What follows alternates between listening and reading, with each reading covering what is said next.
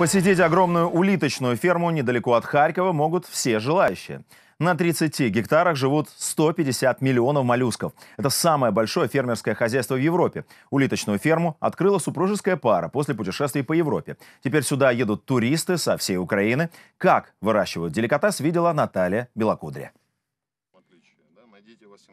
Фермер Валерий показывает своих экзотических питомцев – средиземноморскую улитку. Их два вида – Максима и Мюллер. Европейцы моллюсков употребляют в пищу ежедневно. Для украинцев это пока деликатес. Вот это то, что сидит у меня на руке, это ножка. Понятно?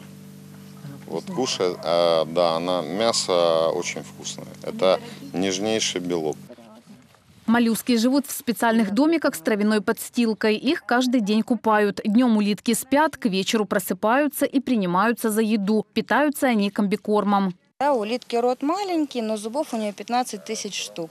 Радула называется, то есть только верхние зубки у нее есть. И комбикорм она перетирает еще в, мел, в более мелкую крошку.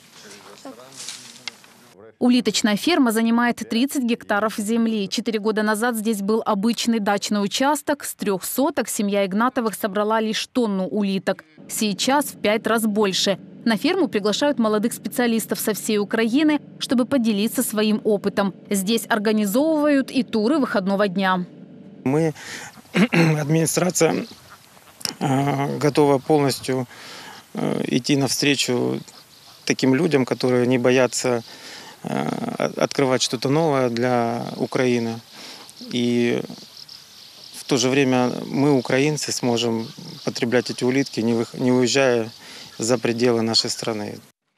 Летом улитки набирают вес, ищут пару и откладывают икру. До нужного размера дорастают осенью. После этого их начинают сортировать. Потом улиток промывают и около недели держат на жесткой диете. Отсюда отправляют в холодильники.